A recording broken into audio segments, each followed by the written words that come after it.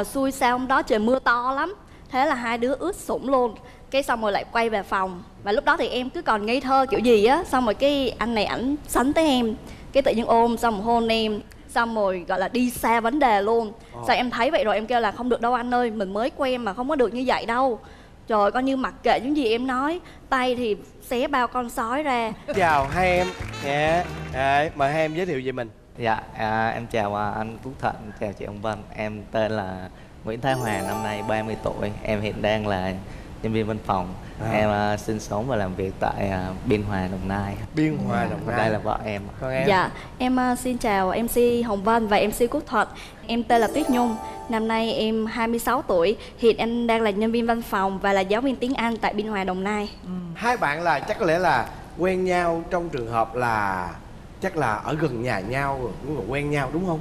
Dạ, thì à, giống như là một cái duyên á Thì à, em với vợ em trước đây là không hề quen biết. Có một người bạn mới rủ em đi cà phê tiếng Anh Thì em mới gặp vợ em lúc đó. Ừ. thì cái ấn tượng lần đầu gặp vợ em là nhìn vợ em rất là truyền thống luôn. Tóc thì tóc đen tuyền xõa ngang vai mái ngố mà Nhưng có mặc đồ truyền thống không dạ cũng mặc đồ truyền thống. Cảm giác đầu tiên của em là giống như em bị sét rồi đúng không? dạ em cái ngoại hình nhìn là thì- thích liền đúng không? Cô gái truyền thống việt nam. Đúng Dạ. không còn em thì sao? Em gặp ảnh thì em thấy thì sao? Dạ, thì ờ, ban đầu em gặp ảnh là em cũng không có ấn tượng gì đâu. Có một cái ấn tượng mà em nhớ về ảnh á Là lúc mà em dạy tiếng Anh cho ảnh.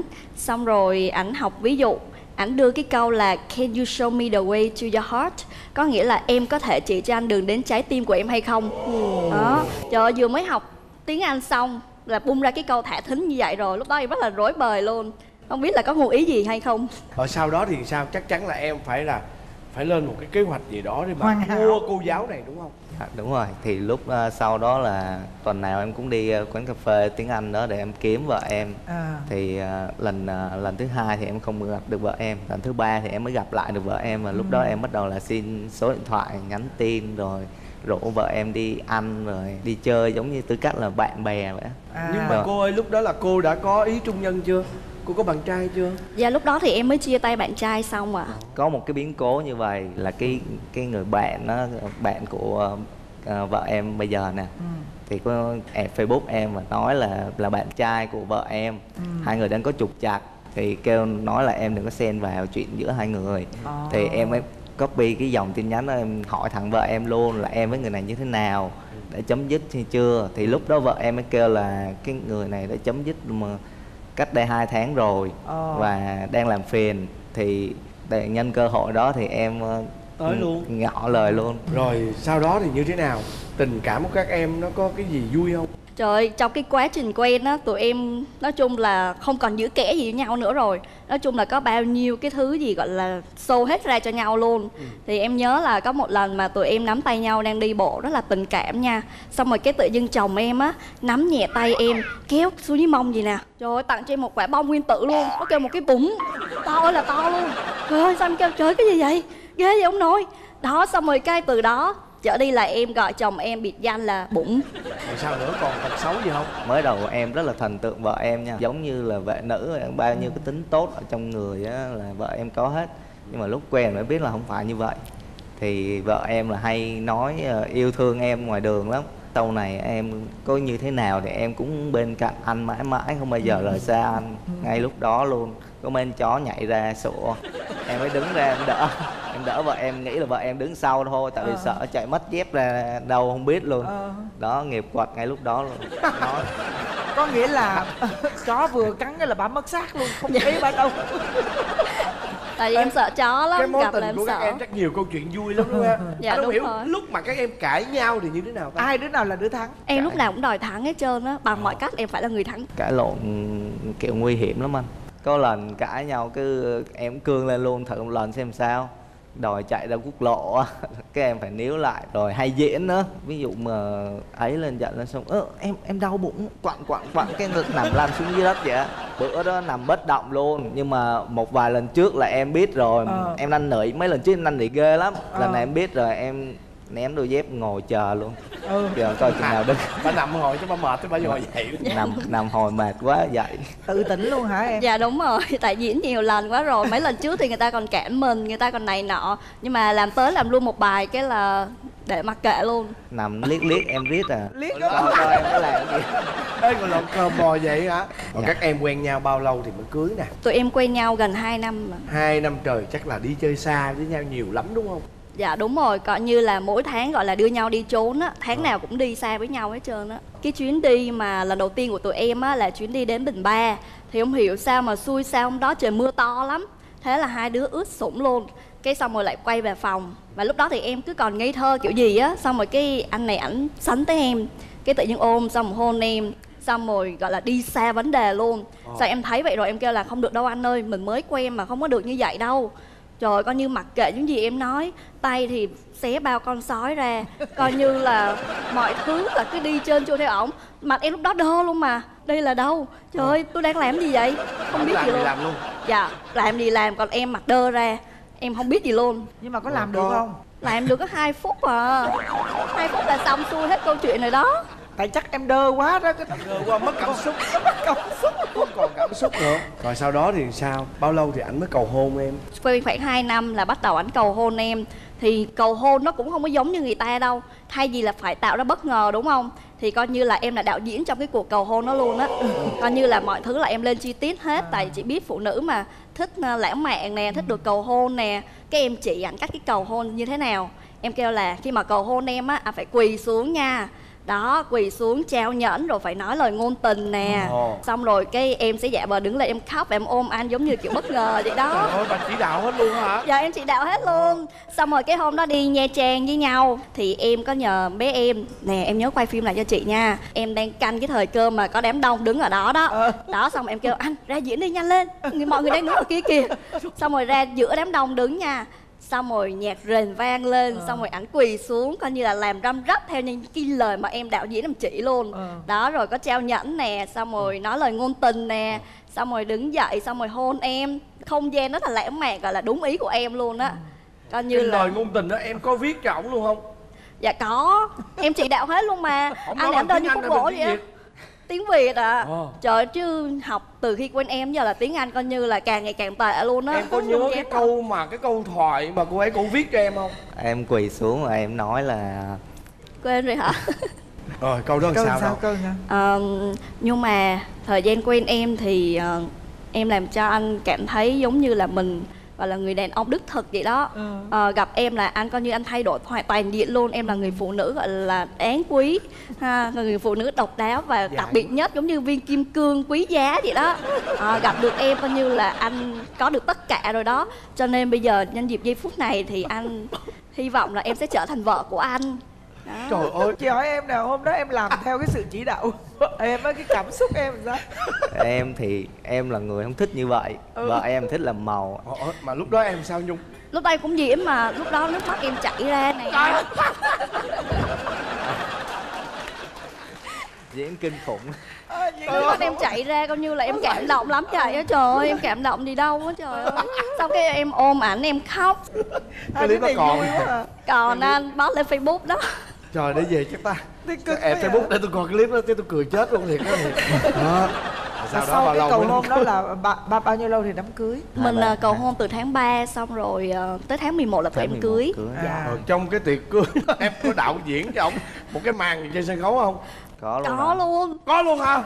Trời ơi. Lúc đó thì em ờ, em phải bắt ảnh là phải biểu cảm trên khuôn mặt sao sao như thế nào. Em hát rồi em bước lên trên khán đài rồi ảnh phải ngôn tình rồi dìu dắt em giống như là đang khiêu vũ vậy đó. Ờ, ờ. đó chứ bình thường mặt anh này ảnh đơ lắm mà cũng không kêu biết nói lời vũ cảm rồi xúc. à, khúc cuối phải quỳ xuống cầm hoa đưa lên cho vợ em. Ôi, thiệt quá.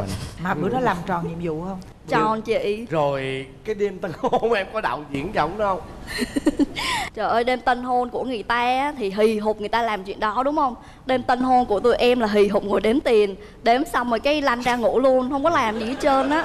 Mà xong rồi cái ngày hôm sau đi trăng mật với nhau. Tưởng đâu là sẽ gỡ lại là làm ăn lại được rồi. Nhưng mà ai ngờ em lại bị chó cắn. Không biết kiếp trước có thù kiếp gì tiền kiếp với loài chó sao? Gặp mình là sủa gặp mình là cắn. Cắn xong rồi cái thế là chồng em phải đưa em về trung tâm phải đi chích ngừa. Ờ đâu làm ăn được. Dạ chích ngừa xong rồi cái em bị sốc phản vệ cái em ói cái em ngủ ly bì mấy ngày trời luôn. Thế là toàn trăng mật được gọi là toàn ngựa mật luôn nó không có làm ăn được gì hết trơn á. Là là dập mật luôn cái Dập dạ mật dập luôn. mật mà luôn. sao cuộc đời em sao chó nó ghét? Em không biết em, em có tuổi chó mà không hiểu sao chó nó ghét em á. Rồi cưới nhau được bao lâu rồi dạ tụi em cưới nhau cũng được ờ, một năm rồi. À, chắc hiểu nhau quá có rồi chưa? từ cái lúc dạ chưa ạ. Ờ, nó nghe nè ở nhà là bà có hay đạo diễn cho em những cái màn gì khác không? Ờ, có anh. Thôi bây giờ hôm nay nhân cơ hội này em có thể nói ra một vài tật xấu của vợ em. Tật xấu của vợ em là hay bắt em diễn với lại ghen mà ghen kinh khủng nha ghen 4 cấp độ luôn. Đầu tiên là ngày xưa là ghen trong quá khứ ờ, xong rồi giờ bắt đầu ghen trong hiện tại. Ờ, xong rồi ghen trong mơ. Ờ. rồi còn ghen trong tương lai nữa. Thế cha tương lai ghen với ai là đang đi xe em cái kêu lỡ mai mà em có chuyện gì xảy ra mà không còn bên anh nữa thì anh có ở vậy à, anh à, tôn thờ em không? Cái em thì em biết ý là muốn nói gì rồi nhưng mà em khoái nói ngược lại tính Ờ. em nhây mà. Ờ. Cái em nói là tất nhiên anh phải kiếm người khác chứ ở vậy hoài sao được. Ờ. Cái đó đó Ghen ghen lên. là ghen Dạ, sao? lúc đó làm sao? Lúc đó là lúc đó là siết cổ em trên xe luôn xíu đều muốn tông xe luôn. Vậy luôn á hả? Kinh khủng lắm. Là ghen trong tương lai. ghen trong tương lai đó. Còn ghen ghen trong mơ nữa là hai cái mà ghê gớm trong mơ là sao? Ghen trong mơ là sao? Có một bữa là hai vợ chồng đang nằm ngủ cái vợ em quơ tay múa chân ghê lắm đánh vô em liên tục luôn. Cái em thấy thương vợ em quá chắc là bị ờ, mộng du hay gì bị nằm mơ ác mộng á em mới ôm vợ em trong lòng ngủ tới sáng luôn. Cái sáng vợ em mới kêu là biết hôm qua sao em đánh anh không? Em mơ thấy anh ngoại tình. Nhưng mà cái người mà chồng em ngoại tình là em có thấy khuôn mặt không? Em thấy hình cô nào cũng đẹp gái lắm luôn á đó xong cái tự nhiên em ghen mà một khi em ghen là em khoa tay của cho là em quýnh quýnh quýnh liên tục vậy á. Đó là tật ghen rồi còn tật xấu gì nữa? Có yêu thích chồng một cách gọi là cuồng nhiệt không? Đó. Nói chung là cũng có anh. Ờ. Ờ, lúc nào đi đâu cũng bám đuôi theo chồng á không rời xa một gan một tấc luôn. Tối ngồi hay rút nách em ngủ mà anh.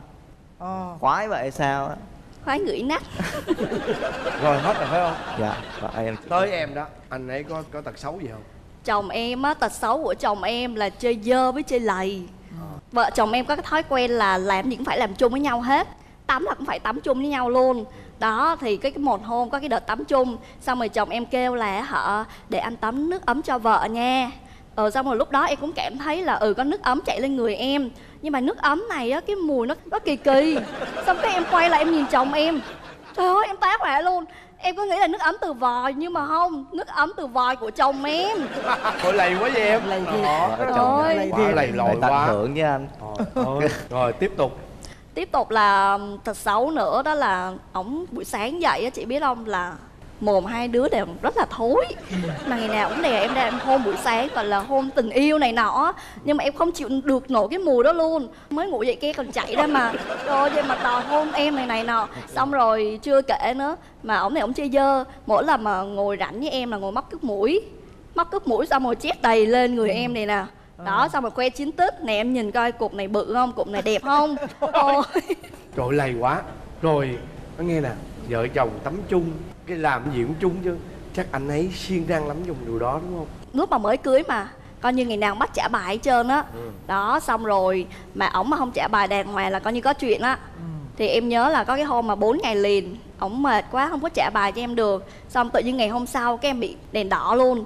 Đèn đỏ dí là tới hết một tuần luôn rồi là tổng cộng là hết 11 ngày thế là không làm ăn được gì hết cái em nổi điên lên. Hôm sau em lên công ty em spam tin nhắn. Nói chung là em làm phiền không cho làm việc luôn. Từ sáng tới chiều luôn. Rồi sau Dạ. đó là có cộng dồn lại trả một lần đúng không? Có. Trả nguyên tuần luôn mà. Dạ Rồi bây giờ em mong muốn à, anh ấy thay đổi điều gì? Thì chồng em á đối với em là ảnh là toàn diện hết rồi rất là yêu thương em việc gì cũng san sẻ làm với em hết cho nên cũng không có nhiều tật xấu. Thì em cũng không mong ảnh thay đổi điều gì hết. Dạ. Rồi còn em có mong muốn bà xã thay đổi điều gì không? Em thì em cảm thấy rất là may mắn vì có một người vợ như vậy rồi. Em chỉ có một mong muốn là vợ em bớt nóng tính lại. Tại vì lúc mà nóng tính lên vợ em hay nói những cái câu rất là khó nghe. Với thứ nhất là thứ hai là nóng tính thì nó làm cho sức khỏe của mình nó bị thuyên Ừ, giảm á. ừ. mình nóng tính lên mình Mệt tim mà Dạ. mà ủa em em nóng dữ lắm hả dạ đúng rồi em bạn họa mà không thực ra tại vì hai bạn này mới có một năm á cái năm đầu tiên là năm tụi em phải cọ sát về tính tình của nhau á dạ đúng để rồi mà tụi em tự biết là mỗi người phải bớt cái tôi của mình lại để Dạ. tụi em hòa hợp lại Dạ. thì đây vẫn còn là cái thời gian mà tụi em phải bàn bạc phải đối diện với nhau về Ừ. tất cả mọi phương diện Anh cũng mong là các bạn sẽ hoàn hảo hơn nha mọi thứ sẽ thấu hiểu nhau nhiều hơn Dạ. để mà sẵn sàng chuẩn bị chào đón một thiên thần tuyệt vời đến với gia đình chúng ta nha Dạ. xin cảm ơn các em Cảm ơn.